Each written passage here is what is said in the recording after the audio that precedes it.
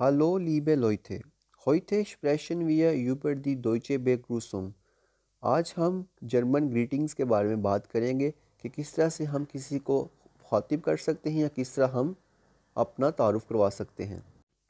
ये वीडियो का first part है और इसके बाद मैं इस वीडियो के ऊपर एक दूसरा पार्ट भी बनाऊँगा। सो आप लोगों को ज़्यादा सोचने की ज़रूरत नहीं है। जो मैंने आपको अंदर सेंटेंसेस दिए हैं उस उनको आप उसी तरह याद कर लीजिए। आई होप कि आपको वीडियो अच्छी लगेगी। तो चलिए फिर स्टार्ट करते हैं। दी फ़र्स्ट वन इज़ हालो हालो नेक्स्ट वन इज़ गूटन थाग गूटन थाग नेक्स्ट वन इज़ गूटन आबेंद गूटन आबेंद Next one is, Gute Nacht. Gute Nacht. Next one is Guten Morgen. Guten Morgen. अब ये जो चार आप लोग देख रहे हैं गूथन था गूथन आबेंट गूथे नाख्त और गूथन मॉर्गन अब इसके बारे में आप लोगों को कुछ इंपॉर्टेंट बात बताता हूँ जो गूथन मॉर्गन है, इसका यूज़ हम टेन ए एम से पहले पहले करेंगे, यानी कि सुबह दस बजे से पहले पहले इसके बाद हम बात करते हैं गुतन थाग की।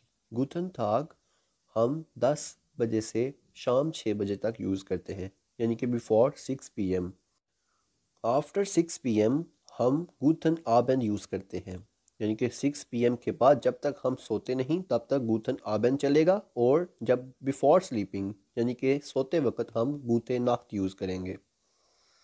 और अब यहाँ पर शायद आपने एक और पॉइंट नोट किया हो कि हमने मॉर्गन, थाग और आबंद के साथ गूथन यूज़ किया है और नाख्त के साथ गूथे यूज़ किया है। इस पर अभी आप लोगों को फ़िक्रमंद होने की ज़रूरत नहीं है। इसकी आपको बाद में समझ आ जाएगी। अभी इसको इसी तरह आप याद करिए।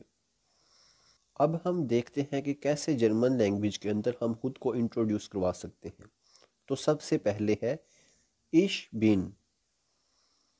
इश बिन।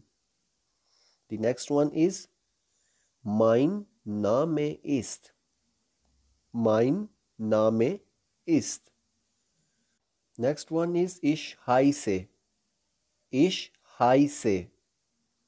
अब ये आप लोग एक वर्ड देख रहे हैं, इसको मैंने अपनी लास्ट वीडियो के अंदर डिस्क्राइब किया था, इसको कहते हैं एच एच और ये डबल एस के इक्वल है लिंक आपको डिस्क्रिप्शन में मिल जाएगा पिछली वीडियो का अब हम कुछ क्वेश्चंस की तरफ़ चलते हैं वेया बिस दू ओदा वेया जिन जी इसका मतलब है हु आर यू इसका आंसर होगा इश बिन लुकमान आई एम लुकमान इस एफ़ का मतलब है, फ्रागे, यानी कि क्वेश्चन और आ का मतलब है अंत फोर्थ यानी कि आंसर अब मैं यहाँ पर आपको एक पॉइंट क्लियर करता चलूँ कि वे बिस्तु हम तब यूज़ करेंगे जब हम किसी से इनफॉर्मल बात कर रहे हों, यानी कि किसी दोस्त से बात कर रहे हों हम, या किसी ऐसे बंदे से जिसको हम डेली मिलते हैं। और वे अजिनजी हम फॉर्मल वे में यूज़ करते हैं, यानी कि जब हम किसी अपने बॉस से बात कर रहे हैं या किसी ऐसे से जिस, जो हमसे पहली बार मिल रहा है। वेया बिस्तु का मतलब होगा तुम कौन हो और वेया जिनजी आप कौन हैं? यानी कि जैसे हम उर्दू में तुम और आप कहते हैं उसी तरह, बिल्कुल। चलिए अब हम आगे कुछ और क्वेश्चंस की तरफ़ देखते हैं। वो हेया खोम्स्त दू? ओदा वो हेया खोमन जी वेयर आर यू फ्रॉम इसका आंसर होगा इश komme aus Deutschland. I am from Germany Thanks for watching. I will make one more part of this video.